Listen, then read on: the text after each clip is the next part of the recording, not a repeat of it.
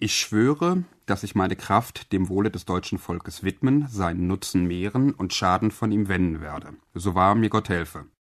Dies ist der Amtseid, den Angela Merkel vor zweieinhalb Jahren erneuert hat. Vom Nutzen der Finanzmärkte ist in diesem Amtseid wohlweislich nicht die Rede. Nichtsdestotrotz scheint es so, als habe die momentane Politik die Interessen der Finanzmärkte längst mit den Interessen des Volkes gleichgesetzt.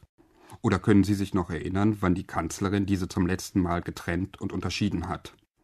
Und im Bundestag sorgen sich nur wenige um den Vertrauensverlust der Bürger, aber viele um eine vermeintliche Vertrauenskrise an den Finanzmärkten.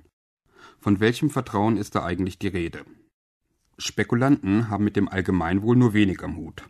Sie wollen möglichst ungestört ihrer Tätigkeit nachgehen und dabei eine größtmögliche Rendite verwirklichen. Wenn die Finanzmärkte also Vertrauen in die Politik haben, so vertrauen sie zuallererst darauf, dass diese sie bei der Verwirklichung ihrer Ziele bestmöglich unterstützt. Eine Vertrauenskrise würde in diesem Zusammenhang bedeuten, dass die Finanzinstitute um die Früchte ihrer doch sehr erfolgreichen Lobbyarbeit bangen. Dies wäre zwar durchaus zu begrüßen, entspricht jedoch nicht den Tatsachen. Vielmehr hat die Kanzlerin schon ganz offiziell eine marktkonforme parlamentarische Mitbestimmung angekündigt. Solche Formulierungen und die Gedanken, die dahinter stehen, sind die Folge eines ideologischen Paradigmenwechsels, der die Märkte ins Zentrum der politischen Willensbildung geschoben hat. Dabei waren es doch der Glaube an die Effizienz der Märkte und das Vertrauen in das Finanzsystem, die uns in die Krise gebracht haben.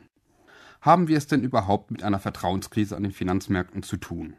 Schaut man sich die Zinsen für Staatsanleihen an, kann davon zumindest in Deutschland keine Rede sein.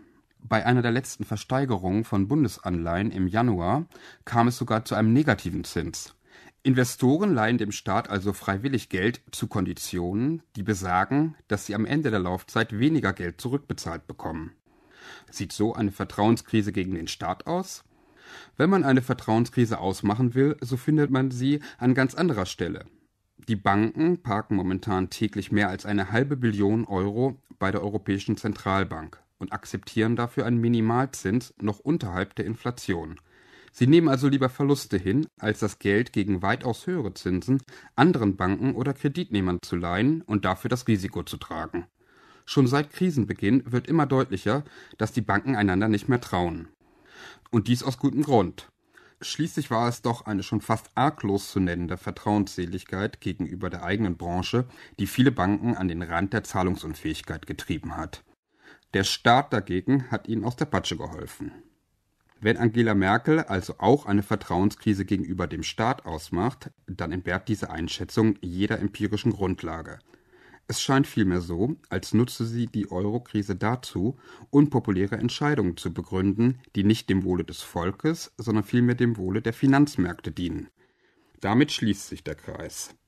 Und deshalb sollte sich die Kanzlerin endlich wieder an den Amtseid erinnern, den sie bereits zweimal geschworen hat, um dann den Nutzen des Volkes zu mehren. So wahr ihr Gott helfe.